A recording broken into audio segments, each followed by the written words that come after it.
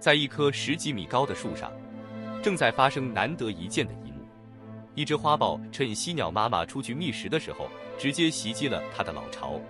那么，犀鸟妈妈能否及时赶回来救它的宝宝呢？我们一起来看看。花豹是猫科属下的大型肉食动物，体型似虎，但比虎要小，体长可达一百五十厘米，体重可达一百千克。主要生活于森林、灌丛、荒漠草原等多种环境，适应能力非常强。不仅仅拥有着猎豹般的速度，而且还有着猎豹不及的捕猎技巧。主要以捕食各种有蹄类动物以及兔、鼠类、鱼类。作为少数擅长爬树的猫科动物，它会捕食树上的猴，甚至是鸟类。向下视频中，这只花豹盯上了几十米高树上的犀鸟，此时的它正在草丛中注视着树上的一举一动。它正在等待机会。原来树干上的犀鸟妈妈正捕食回来，它把食物喂给嗷嗷待哺的宝宝。然而它却不知，此时它们早已被花豹盯上。等犀鸟妈妈喂完嘴中的食物，便再次出去觅食。花豹见状，觉得时机成熟，便开始迅速地向树上而去。只见它迅速地爬上树，来到犀鸟的巢穴旁，它步步向鸟巢靠近。犀鸟宝宝面对这个不速之客，已经处于危险的边缘。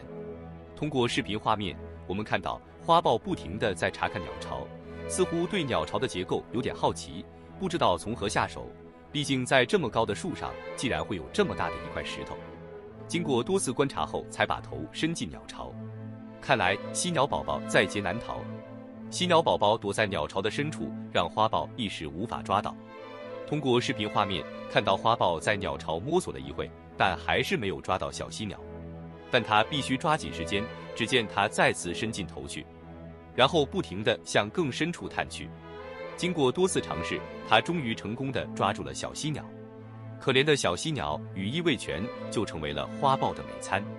从视频中，我们看到小犀鸟还在拼命地挣扎，但弱小的身躯在花豹面前根本无事于补，只能任由宰割。只见花豹带着小犀鸟迅速地离开了树上，而等犀鸟妈妈回来之后，看到空空的鸟巢，也是尽显无奈。他知道他的孩子恐怕凶多吉少了，除了发出痛苦的哀鸣声，别无他法。不得不说，在自然界到处充满着危机，不要以为住得高就可以高枕无忧了，稍不留心就有可能巢破鸟亡。大家觉得呢？欢迎评论留言。好了，今天的视频就分享到这里。我是老谭，创作不容易，还麻烦各位大哥大姐帮忙长按点个赞，谢谢您的观看，下期再见。